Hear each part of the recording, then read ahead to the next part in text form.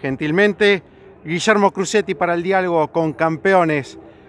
Eh, imprevistamente trabajando aquí en Centenario, Guillermo. ¿Qué pasa, qué pasa por el interior de, de Crucetti después de lo acontecido ayer, Guillermo? ¿Cómo te va? Buenas tardes.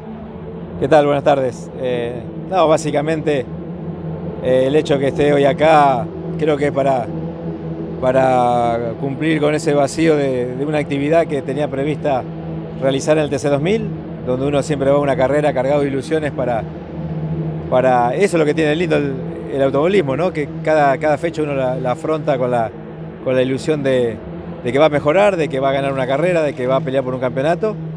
Y, bueno, se truncó todo con esta medida que, que, tomaron la gente del sindicato junto con, con el personal por, por motivos que, que no, no, me incumben a mí, digamos, analizar.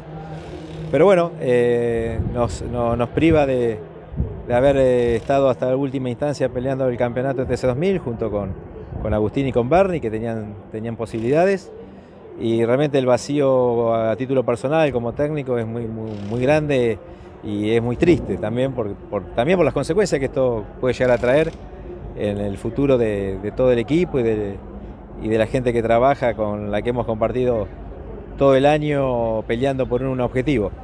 Así que bueno, eh, aproveché la ocasión y, y vine a disfrutar de, de, un fin de semana del Moura con, con el equipo Rusmed, obviamente que también soy técnico, director técnico del mismo y no tengo la posibilidad de hacerlo durante el año por la super, superposición de fecha, así que bueno, eh, acá estoy en Neuquén junto con ellos. Es un golpe durísimo, Guillermo, en un momento complejo y de definiciones, definiciones más allá de la del campeonato, digo, sino también de cara al año que viene con el equipo.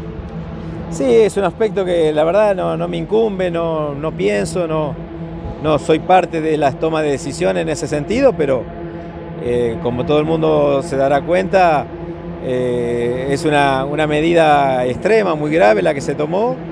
A mí en 30 años de automovilismo nunca me pasó una cosa así y claramente eh, se verá cómo, cómo, es la decisión del equipo y de General Motors y de IPF para, para continuar en lo que queda del campeonato y de cara a la temporada que viene. ¿Puede estar en duda lo que viene? No lo sé, la verdad no lo sé, y por eso estoy acá. Me quise alejar lo máximo posible de, del conflicto porque realmente no, no le hace bien a nadie. Eh, a mí en lo personal me, me, duele mucho por la gente con la que uno compartió todo, todo este año. Eh, el año pasado hemos logrado el campeonato, veníamos peleando con los dos autos.